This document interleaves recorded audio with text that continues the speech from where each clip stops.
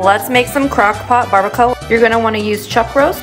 Cut your meat up into chunks. Take it and throw it into your crock pot. Chop up one onion. Add your onions to your meat. Add in four to six garlic cloves. Add in a few bay leaves. Juice of a lime. Tablespoon of cumin. Tablespoon beef bouillon. Tablespoon Mexican oregano. Tablespoon apple cider vinegar. Black pepper.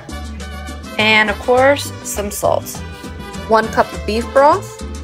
Next, you're gonna need a can of chipotle peppers. Chop up about four peppers and add them to your crock pot. Then you're gonna want two tablespoons of the sauce. Cover and cook for six to eight hours. Here's what the barbacoa. I pulled some out of the pot so you could see how it just falls apart.